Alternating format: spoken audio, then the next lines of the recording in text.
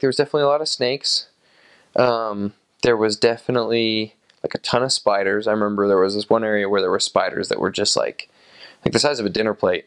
Um, and they lived in these people's houses. Like there were these huge, uh, like okay, a smaller dinner plate, but I, I mean, it's like a good like that big.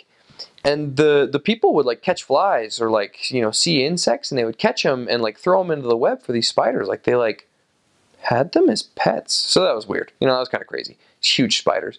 Um, there were tons of bats, tons of bats, tons of lizards. I mean, I remember a lizard that was like that big that was just in my house one night when we got home.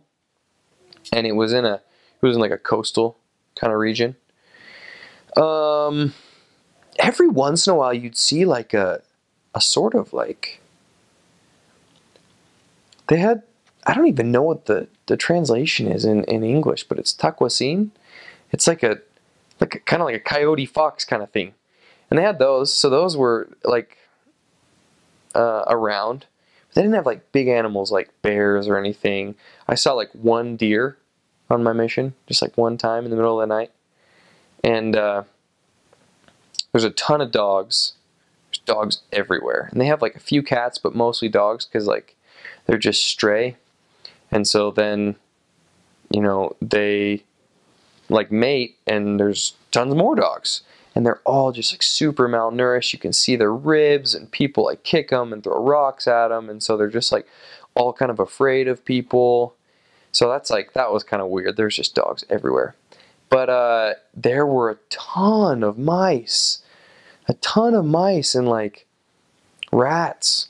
There was a rat in my house once that uh, that we killed because it would like eat our stuff and uh, one night we were sitting there taking numbers at at, uh, at night, and we hear something like on the fridge, and I'm like, "That's the rat." So we run over and hit the fridge, and we hear it jump off, and it starts like scurrying away. So my companion grabs a broom, and he like hits it back towards me, and I grab a broom, and we just like killed it with brooms. It was crazy. The broom splittered it into like three pieces, and it was just crazy. And you know, like we weren't being like cruel or anything, but like the rats can carry diseases and fleas and stuff. So we are just like trying to get it because you know it would get into our house if like we didn't kill it because they can climb like go under the doors, the metal doors. There's not like a lot of weather stripping or like airtight sealed kind of stuff down in El Salvador.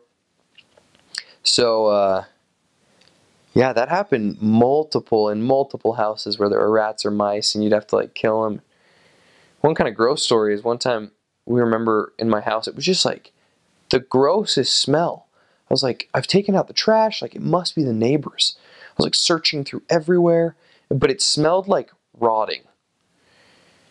So after like three weeks of that, we finally find underneath they've got these things called pilas in El Salvador that are like concrete boxes of water, and then on each side it's got like a wash basin where you can do your dishes or your laundry. And um, well, on one of the sides we had like a dish holder for like dishes so they could dry and for like silverware, but it kind of like filled up the whole thing. And it was like flush with the back and with the sides.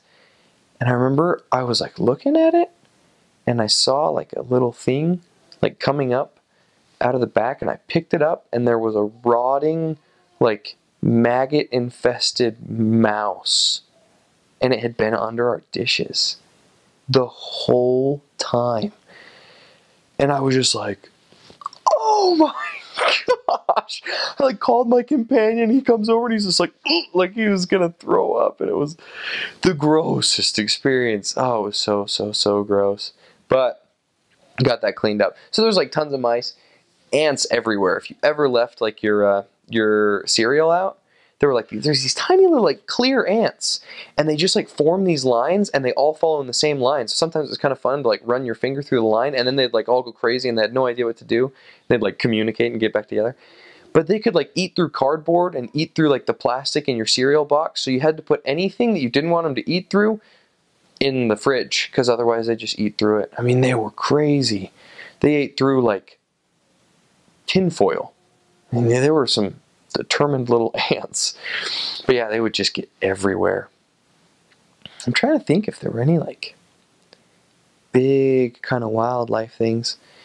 And there was there wasn't anything like in Brazil like jaguars or like lions or bears. I don't know, but uh, but yeah, there was like a lot of snakes and stuff like that. So it's fun.